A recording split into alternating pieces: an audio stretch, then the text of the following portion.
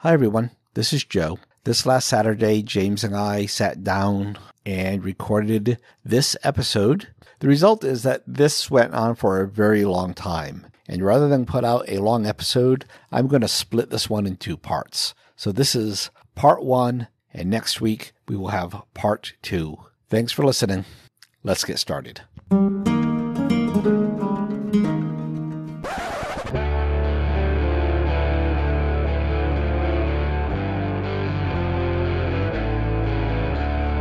This is the Dekahedron Podcast with Joe and James, two old dudes talking about RPG stuff.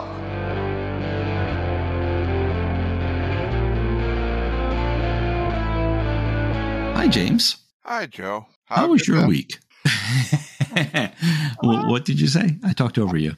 I was saying, how was your week going? All right. Well, we'll start with my week. My week was um, Oh, there's a little stress. My uh, my mother in law is having some cancer surgery on uh, Wednesday, so uh, yeah, there's stress all about the house about that. And uh, this was my 12 day work week where I worked every day last week, and then I worked my other job this weekend, and then worked every day this week on my primary job again. So there was that. Although last Saturday for my my second job, we had our annual holiday party, and it was a black tie event. So I got to get all dudded up, and uh, the missus got into her gown, and it was a wonderful night. So that that was probably the high point of my week there. How about your week? Compared to yours, mine sounds very slow. Work, sleep, eat lately, and some classes, but nothing really excited. Uh, had to do a short trip, only a couple of days. Came back from that ready for another vacation. So mm-hmm. slow. So, um, what are we talking about this week? Um, we're going to talk about you, but we're going to talk about me. Oh, my favorite topic in the universe. Yeah, I, I usually like the old expression revenge is a dish served best cold, but waiting a year to do it, this probably would not go well for the podcast. I uh I didn't know you were a Klingon. Oh, not a Klingon, just a realist. It's it's more fun to make the person t- entirely forget about the situation. All of a sudden, oh, what is he doing? Eh, I think it would have been hard to sneak up on me though, because I'm the one that usually controls when we're when we are recording. well, and the other issue is it has to be when you entirely forgot about it. So that ain't going to happen anytime soon. No. let's, let's get to it. Now, I'm going to start off with some easy questions and try to get you to expand on part of the question we left off on mine. Tell our people about the books you like to read and why we cut the discussion off last time with how you pick your books. So currently, I am reading nonfiction stuff. I'm still finishing up uh, Jon Peterson's book about the origin of TSR hobbies, Dave and Gary, and you know how they get together, how they started the company, how they considered Dungeons and Dragons to be a three hundred dollar idea, that kind of stuff. Before that was Jon Peterson's massive tome, Playing at the World. It's like thousand pages about the, the origin of role playing games from war games, etc. So that's for like stuff that I buy to read. The other stuff that you're probably talking about is I am a big fan of fantasy and science fiction, but historically. Actually, I guess it kind of ties in. Mm, never thought about that. Like I'm reading about the origins of our gaming hobby. I like reading about the origins of modern science fiction and fantasy, but not from an outsider perspective, but by going in and reading those old books. And a lot of them are in the public domain, so I can get them straight off of Gutenberg.org and you go in, you know, find them and I load them onto my Kindle and it's very easy reading. And so like the very first Buck Rogers stories and you can get there and you can read it and you can, can see it. There was this another series, Tom Corbett, Space Cadet, apparently was a 1950s television show that I don't think exists anymore because I think it was all like live transmission back in the day. It was before video and but they made a series of, of novelizations and it's interesting to read those. One one the stories are are okay. Two it's interesting to see their take on the future in space travel. And three, it's just interesting to see what their stories tell you about the culture at the time they were written. For example, at one point, Tom Corbett has the job of interviewing colonists for Mars or some planet where they're going to set up a colony. I don't remember the exact planet. And so when he's doing the interviews, he's making sure like uh, the men are good engineers and are good at construction, and the women he has to make sure they can cook, which is a little uh, sexist. Oh, it's more than a, a, little sexist, but yeah, it's it's just interesting what that says about that day and time. So there you go. There's there's what I read and why. I'm gonna jump to one of my other questions. What do you collect? I have recently moved I've gone through this this decluttering phase in my life, or at least I'm trying to, and so I'm trying not to collect. I do have a, a few things, RPGs, although not like I used to. I used to just try to grab anything that was an RPG. Now I do have specific things. I mentioned before. I have Liz Danforth's personal copy of Tunnels and Trolls Fourth Edition. I have a, uh, I think it's a third printing of original Dungeons and Dragons in you know the the white box with the three booklets inside. Mm-hmm. And because it's kind of fragile and old and it costs a little bit of money, I don't like to actually open the box and go through the books. And so a few years ago, Wizards of the Coast had a classic reprint and it came in a wooden box and they reprinted the little books and they threw them in there. And I think they also threw in a Greyhawk and Blackmoor and these demigods and heroes, I think. Anyway, they're all in this really nice box and it came with dice and everything. And it's all in, uh, you know, came shrink wrapping everything. And I bought a copy of that at my friendly local gaming shop. And I said, great. Now, when I want to go through books, I can just open this one because this is a reprint and nobody will care. And I put it to the side and I forgot about it for a little bit. And then uh, one day I was looking it up to show somebody what it was, like on Amazon. And the prices for that are now more expensive than my original third printing of Dungeons and Dragons. So now I feel like I can't open up that one.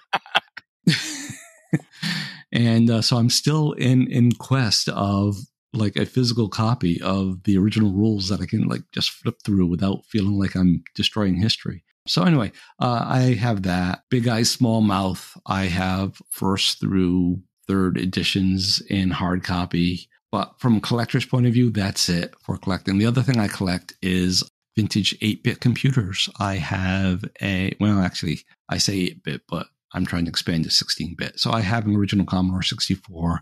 I have an Atari 130 XE. I am searching for a TI 99 for a.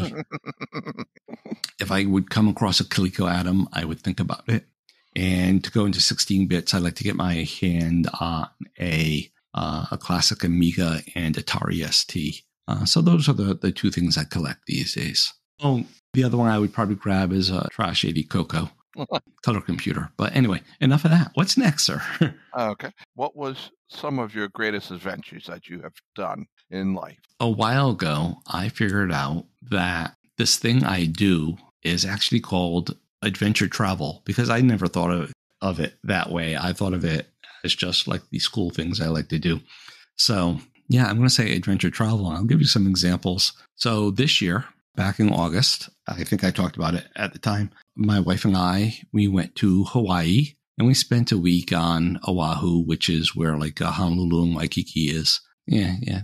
But actually, I was going to say, but you know, that's just Waikiki. But actually, while we were there, we, we went into a shark cage. We went snor- snorkeling with uh, the giant sea turtles. Did we do anything else adventure there? Uh, we did zip lining. I don't consider that adventure now because I've done it so much. It's just something we do. Uh, but yeah, we did zip lining. So that was on that island. But then the second week, we went to the, the big island of, of Hawaii and we actually stayed on the rim of uh, the, the Kilauea volcano. Uh, which is actively erupting. It's not the one that's been hitting the news in the last week or two. That's that's Mauna Loa. They're they're like sisters. They they sit next to each other. So the place where we stayed was a cabin that I could walk to the rim of the erupting volcano. It would take maybe a five minute walk. And so at night we would go out to to look at the lava, which was amazingly cool. Like I said, we stayed there for a week, did a helicopter tour over the the crater uh, saw the lava that way and stuff like that. So that was this year. Uh, last year, uh, we went to Alaska. Again, more ziplining. Uh, Denali National Park. We saw, oh, took a seaplane out to, um, I don't know, somewhere way out in the, the backwoods. And from there, we took uh, boats to watch the bears uh, feeding on the fish. Uh, my wife has a great video of a bear just coming out of the woods, snagging a fish uh, in its in its claws and walking off. We took a helicopter up to the glacier and we drove a team of sleigh dogs. Uh, yeah, snow dogs. Uh, yes, sled dogs. We, what else did we do? You're, you're, oh, we went uh, whitewater rafting in, in Alaska down, uh, and while we were there, there was a baby moose that jumped into the, the river and was like trying to get into the raft. And we had to paddle away ferociously to get away from it because where baby is, mama has to be somewhere, and moose are huge. Um, so that that was last year. Uh, the year before that, that was like peak COVID, so we didn't get to do anything. I don't know. Then I went uh, open water kayaking in Vancouver, North, North Vancouver Island, with the orca. So you're just paddling along, and the the orca orca. Yeah, I cannot talk today. The orca killer whales are on either side of you as you're paddling along. So that was pretty awesome and intense. Uh, oh, whale watching cruises. I consider that a nothing because we do that like every couple years. I drive down to Pennsylvania to, to Elk County to watch the elk during rutting season. I love it when they, they lock their antlers together. So I like, I like wildlife photography. So that's always great to go down and do that. In 2016, wow, was it that long ago? That's like six years ago. It's about another we did the the Camino de Santiago, which is a little bit of a walk. And well, I say Spain. We, we actually started in France, and uh, we walked over the, the Pyrenees into Spain, and then uh, crossed to the town of well, the city of uh, of Santiago de Compostela. It's about a 500 mile walk, and it took us about a month. And it's a route that people have been walking for like a thousand years. So, like when we get to Pamplona, there was a place there called the Trinidad de Ors. Actually, probably Ares, right? Because it's uh, Spanish. It's this building that, that hosts people that do this walk, Peregrinos. There was a sign on it that says it's been doing this for like 900 years. This very building that we stayed in has been hosting people doing this walk that we're doing for 900 years. That just blows my mind. Yeah. And it's the whole thing. Of course, when you're walking for 30 days, just one foot in front of me the other for 500 miles day after day, you you have a lot of time to think, and it just it made me think a lot about how I deal with travel in gaming. Uh, but that's a whole nother story entirely. Next question, sir. Okay, I know you don't play a character very often, but what is your favorite character to play, and in what genre? I don't think I have a favorite character to play. I talked before about the favorite character I ever made, which was my shapeshifter in Gamma World. But I was referring more to class than um, character. I, I think what I'm going to say is if you would sit me down any given day and nine times out of 10, I think I would like to be uh, the captain of a big spaceship type thing. I want to be Kirk. I don't want to be Picard. I want to be Kirk. Although, you know, you could convince me to be a fighter pilot in like a uh, Battlestar or something. But yeah, so something along those lines. That that that is what I would like to be. Okay, and see, we are usually doing D and D based conversations. What is the class that you dislike the most? Oh, out of all of the version paladin. Mm, I was guessing that, anyways. After a discussion we had, what is your favorite movie other than Princess Bride? My favorite movies are probably A Tree Grows in Brooklyn, which is set around the turn of the century in uh, New York City, well, in Brooklyn. The title gives away within like an Irish immigrant family and the issues that they are facing. Absolutely adore that movie. Another movie I absolutely adore is called Captains Courageous, which is the only movie that Spencer Tracy ever got an Oscar for. So Spencer Tracy's in it, uh, Lionel Barrymore's in it, uh, who most people know as the old guy in a wheelchair in A Wonderful Life. But mm-hmm. he's a much more dynamic actor than that. He has a wonderful role in Captain's Courageous. The movie is about the broken relationship between a boy and his father and a, a surrogate, we'll call it for lack of better term. And the journey from boyhood to manhood. And it deals with a Portuguese immigrant, which which has some resonance for for my family background. Oh, and it takes place in like New, New Bedford in Gloucester, uh, which is pretty close to where I grew up. And in fact, uh, it ends with a shot of the Gloucester Fisherman's Memorial. And if you ever go there, it's the big statue with a fisherman holding a ship's wheel and everything. You see on the Gorton fish sticks package. But anyway, uh, if you ever go there, there's a big plaque all around it where it has the names of fishermen who were lost at sea. And if you look there, you will see uh, some members from my uh, family in the past. Uh, oh, but uh, other movies, of course, Princess Bride. Maybe because it's Christmas time, I'm going to say this one, but I really do like it.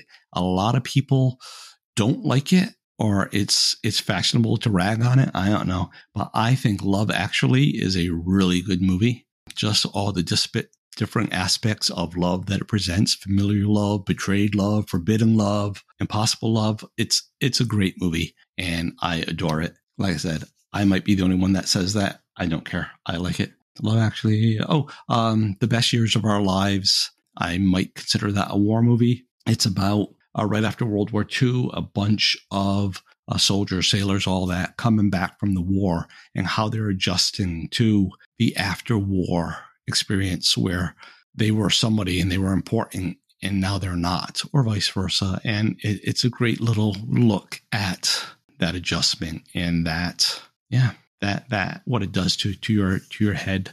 Um, oh, my best screwball comedy is uh, Barbra Streisand, Ryan O'Neal, and What's Up Doc. Excellent movie. Uh, so let's go on to something else. Uh, what are your favorite dice, or what uh, D whatever do you like? It's the D12. There is absolutely no question about that. It is my favorite die. That is why, uh, and I also feel it's very underused. But that is why I am uh, using it for, for Lucky 7 on Lucky 13. Uh, it started with how can I make a game based around the D12? So D12. And metal, clear plastic, what dice do you usually get? The purpose of a die is to roll on the table and give you a number. While metal has a nice look to it, it's a little evil to the table.